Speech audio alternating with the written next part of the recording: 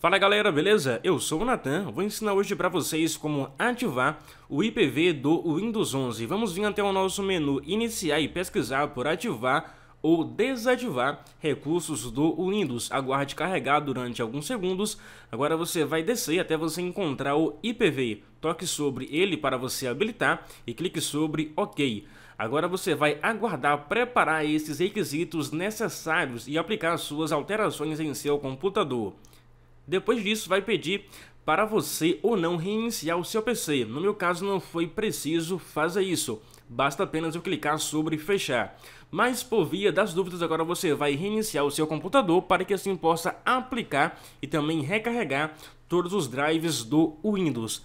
Eu espero que vocês tenham gostado de mais um conteúdo aqui no canal DH Tutos. Muito obrigado a todos vocês que viram esse conteúdo até aqui e a gente se vê no próximo vídeo tutorial.